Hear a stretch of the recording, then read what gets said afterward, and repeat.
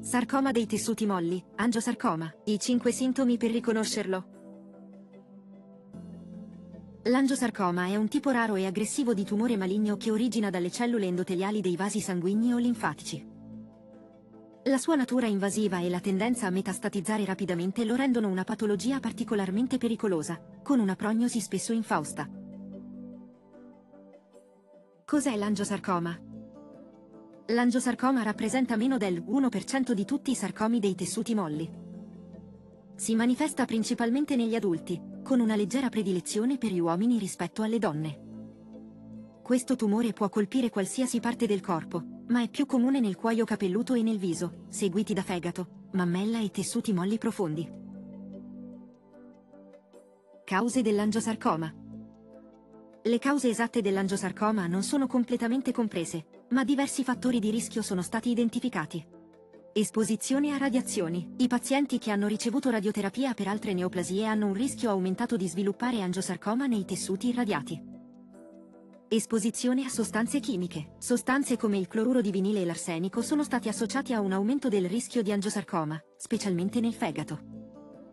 Linfedema cronico, una condizione caratterizzata da un eccesso di fluido linfatico nei tessuti, spesso dovuta alla rimozione o danneggiamento dei linfonodi, può predisporre allo sviluppo dell'angiosarcoma.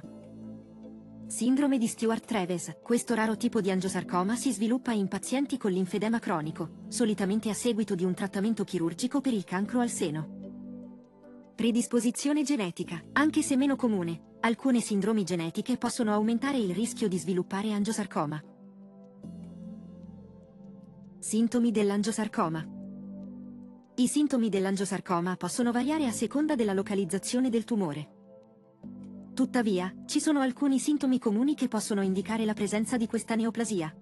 Lesioni cutanee, lesioni o noduli sulla pelle che possono essere di colore rosso-violaceo e che tendono a crescere rapidamente. Dolore, dolore nella zona colpita, che può essere costante o peggiorare nel tempo. Gonfiore, gonfiore localizzato, soprattutto se il tumore è vicino alla superficie del corpo. Ulcere, ulcere o piaghe che non guariscono, spesso associate a lesioni cutanee.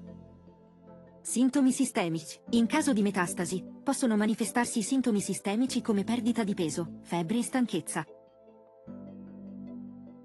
Cure per l'angiosarcoma. Il trattamento dell'angiosarcoma dipende dalla localizzazione, dalla dimensione del tumore e dallo stadio della malattia al momento della diagnosi.